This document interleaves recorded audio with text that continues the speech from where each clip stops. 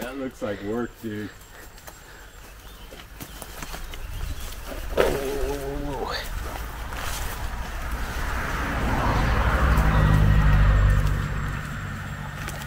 Dude, that sounds like a scream. Ja, hallo Leute und herzlich willkommen zu einem neuen Video von mir. Heute bin ich zusammen mit Brian hier bei einem Revisit vom Hotel Waldkater im Harz. The door's closed, but it was closed the last time too. Zeige ich euch noch mal ein bisschen die Ecken, wo ich noch nicht war beim letzten Mal. Beim letzten Mal war ich zum Beispiel auch nicht hier drinnen in dem Barbereich und in den beiden ganz obersten Etagen war ich auch nicht drinne. Aber jetzt bin ich erneut hier. Wie gesagt, zusammen mit Brian. Brian möchte hier seine paranormale Untersuchung machen. Und wir sind heute gemeinsam auf Lost Place Tour.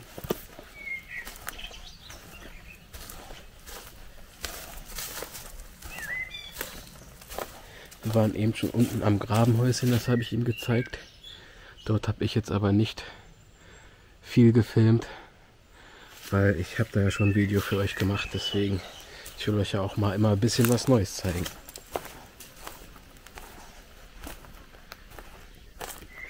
Und auch hier drinnen werde ich euch jetzt äh, dann, wie gesagt, nur die Ecken zeigen, die ihr beim letzten Mal nicht sehen konntet. So, hier draußen ist zum Beispiel jetzt ein Schloss vorgemacht. Beim letzten Mal bin ich ja am Anfang meines Videos hier so halb, halb reingegangen. Und hier hat jemand neu diese Schlösser angebracht. Das heißt, es möchte jemand, dass dort nicht reingegangen wird. Was ist das denn hier? Einer so eine Robbe in den Briefkasten gelegt. Crazy.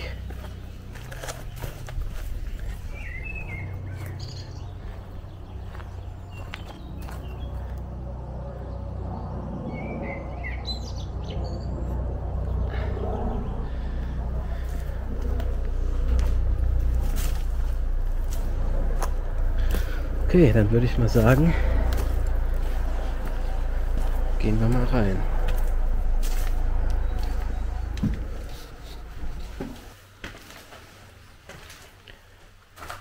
Na Leute, Bock auf eine Runde Dart.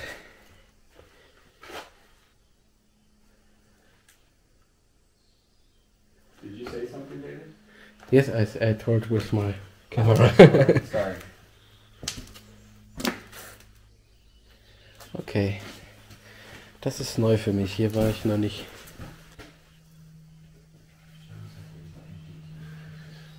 Ich befinde mich jetzt gerade im Barbereich vom Hotel Waldkater.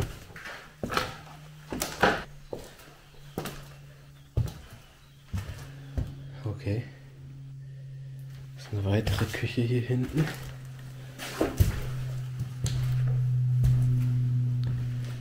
Oh, cool.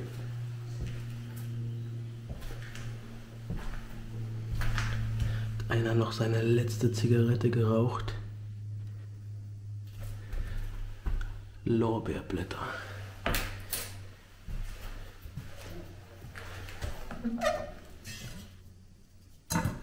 Okay. Also Kühlschränke gibt es hier auf jeden Fall mehr als genug. Mal schauen in den Backofen. Okay, nix. Erste Hilfe Kasten ist aber auch leer. Hier hat man wahrscheinlich die Teller gewaschen oder sonstiges Besteck. Blick in die Küchenschränke. Außer ein paar Teller leer.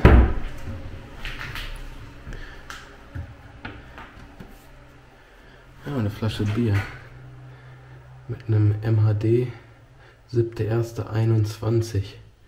Also schon über zwei Jahre abgelaufen. Da haben wir 7.7. 7.7.20. 10.20.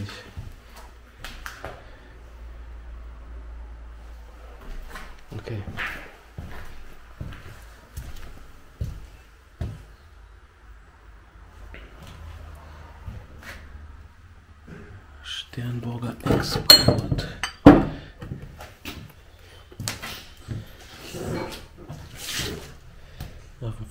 Sieht aus, als hätte jemand Karten gespielt.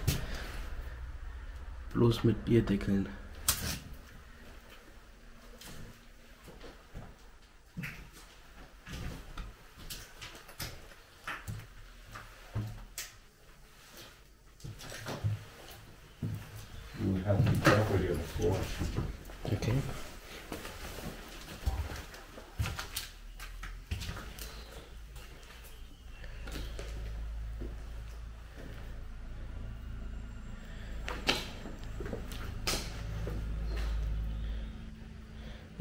Euch das an heute.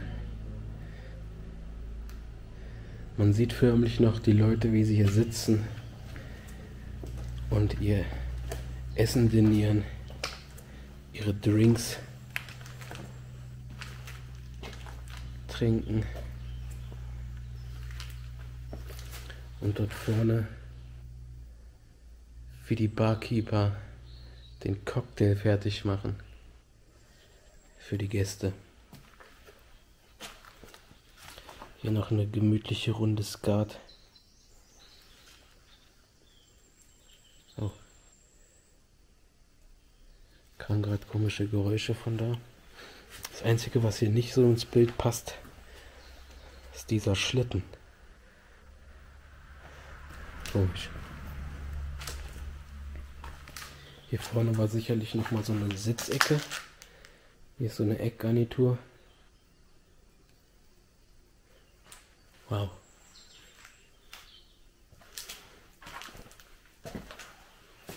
Ah, hier ist sogar der Rest dieser Sitzgarnitur. Das ist quasi die Tür von draußen. Das ist die Haupteingangstür, die aber verschlossen ist von außen.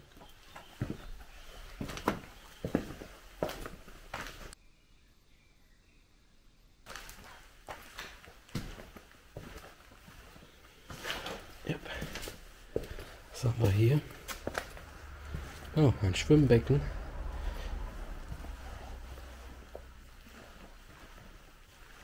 Ah, guck mal, hier hat einer einen Topf hingestellt, weil es hier wahrscheinlich schon das Wasser reintropft von dort oben.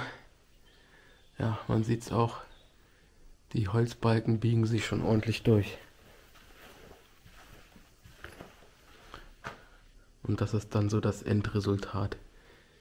Kurz vorm endgültigen Einsturz. Guck mal da hinten dieses Wandbild.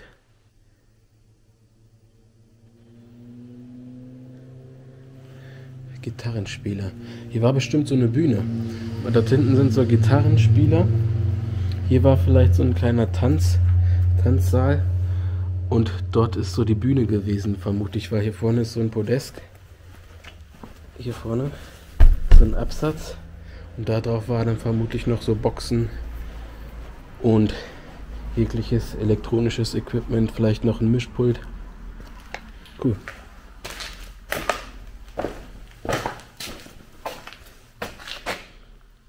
Haben wir sogar noch ein altes, originales Straßenschild.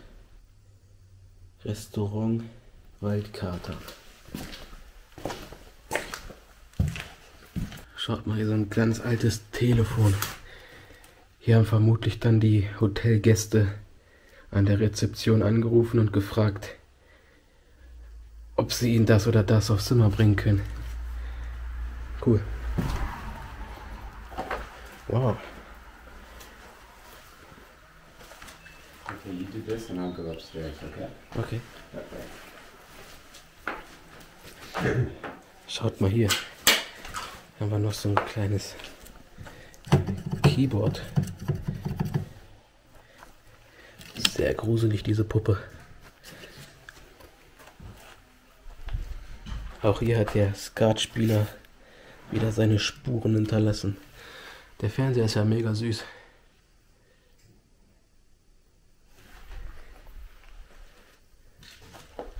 War sicherlich mal sehr schön hier. Aber auch noch so ein paar Sitzgarnituren. Der Ausblick, der ist auf jeden Fall sehr schön. Schön hier ins ländliche. Wenn das alles noch ein bisschen gepflegter war und nicht so bewachsen ringsrum wird, das sicherlich mal schön ausgesehen haben. Cool. Ist das noch die alte Fernsehzeitung hier? Nee. Einfach nur so eine Broschüre. Vielleicht eine alte Hotelbroschüre.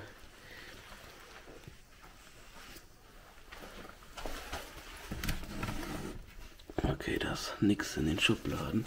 Aber auch hier unten in der Schublade wieder Karten. Ich glaube, hier wurde ordentlich mit Karten gespielt. Und ab und zu dann auch mal mit einer Gitarre.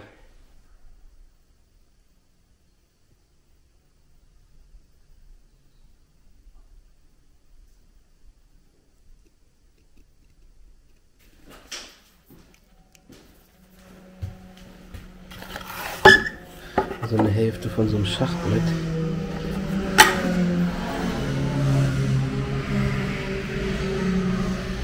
Wie ihr da draußen hört, das hier war mal ein Biker-Hotel, wurde es genannt. Und man hört es, glaube ich.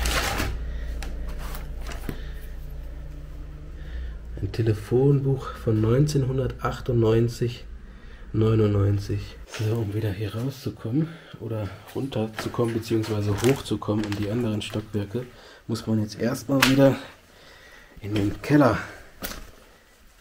hinuntersteigen, um sich dann durch diesen düsteren Feuchtgebieten zurück in Richtung anderes Treppenhaus bewegen kann.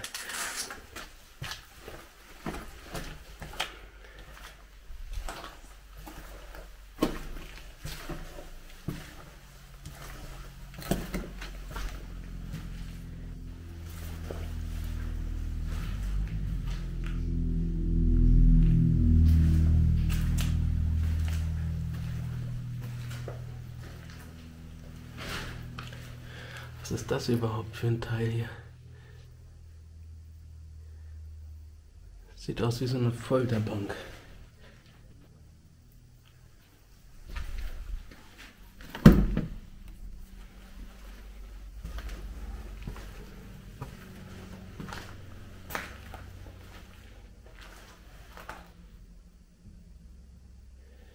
Mal die Küchengeräte. Hier ein Regal, noch bestückt mit Tellern. Okay. Da liegen noch ein paar Batterien.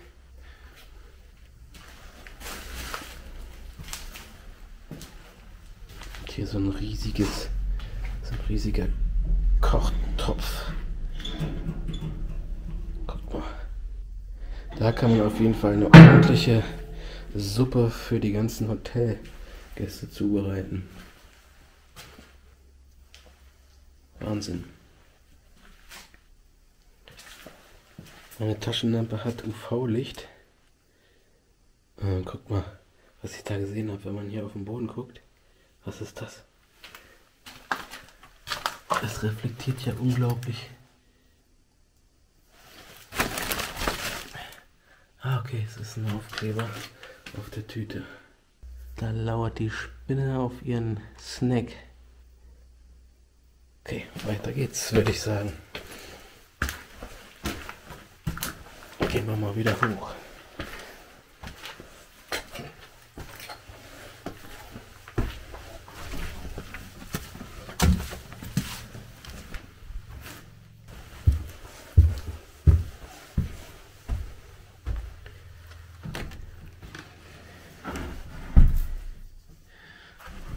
Hier waren Toiletten drin. Da sind so Pissoirs. Seifenspender. Okay.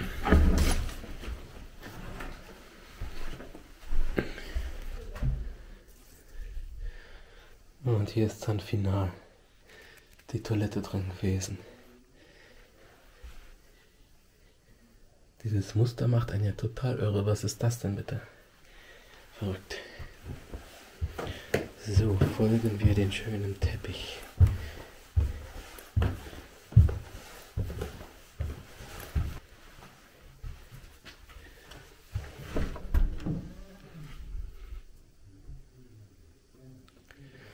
Okay, hier waren wir ja schon.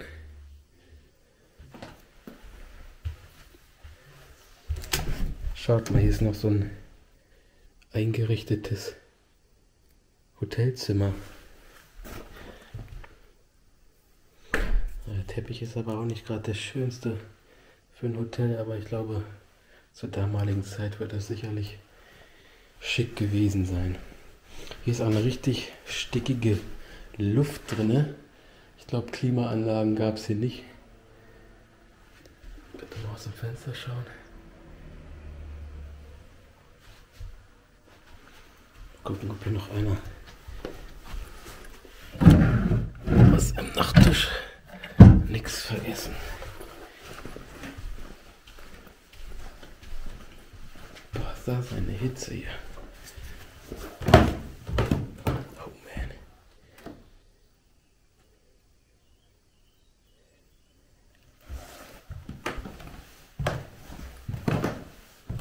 Eieiei.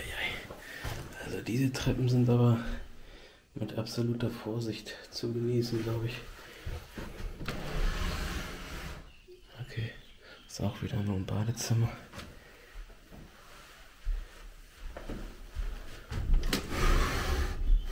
Da genau das gleiche. So Leute, wir crashen jetzt mal die paranormale Untersuchung von Brian.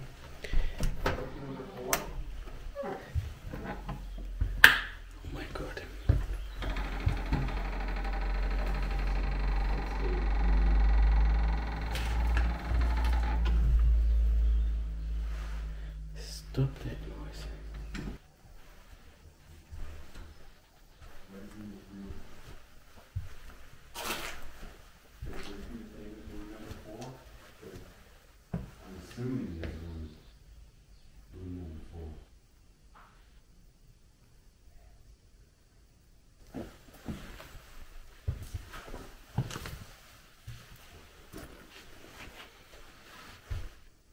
Okay, gemütlich.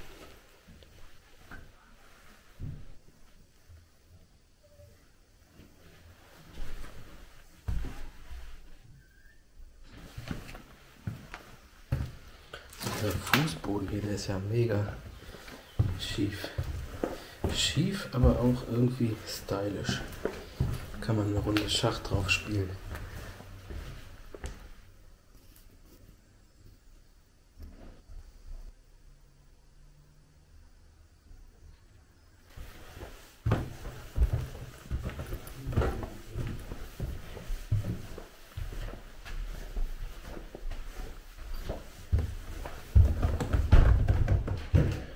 Oh, oh, oh, oh. That's theirs.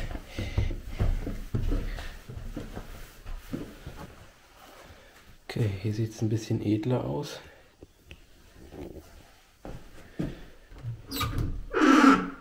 Hier gibt es sogar eine Toilette mit auf dem Zimmer. Wahrscheinlich ist das so die High-Class-Suite gewesen. Die Betten sehen auch etwas komfortabler aus. Was ist das hier? Wer soll nun dein Herzblatt sein? Total irre.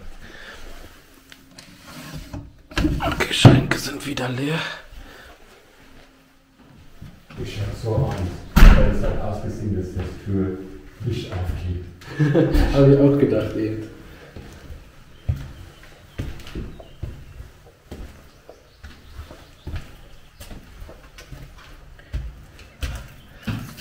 Was ist das denn hier? Eine Bonrolle. Ich höre auf jeden Fall ein Auto da draußen. Ich hoffe nicht, dass das die Polizei ist oder sowas. Okay. Der Raum ist verschlossen. Warum ist der verschlossen? Das ist ja auch komisch. Hier ist wieder offen. Okay. Es ist auch ein bisschen pompöser, dieses Zimmer. Hier gab es sogar einen größeren Fernseher. Steht zwar hochkant, auf jeden Fall ein altes Gerät. Schöner alter Röhrenfernseher. Okay.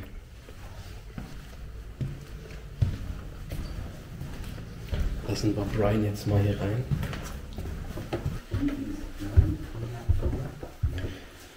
So, gehen wir noch mal nach ganz oben. Okay, hier liegt nur jede Menge, jede Menge Zeitungsmüll. Eine kleine Dachbodenkammer. Kann man auf jeden Fall jemanden einsperren.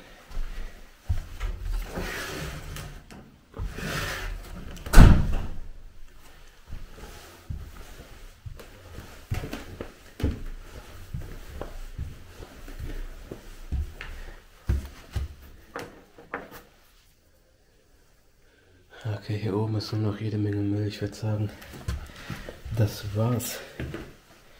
Liebe Leute. Zum Abschluss nochmal einen kleinen Teddybär für euch. So, lassen wir Brian mal alleine dort oben. Er macht nämlich gerade seine paranormale Untersuchung. Und die könnt ihr dann auf seinem YouTube-Kanal sehen. Gebt einfach mal ein bei YouTube Brian's Paranormal Travel Blog und dann findet ihr seinen Kanal. Da sind wir auch schon wieder am Ende meines Videos. In diesem Sinne, passt auf euch auf, bleibt gesund und bis bald.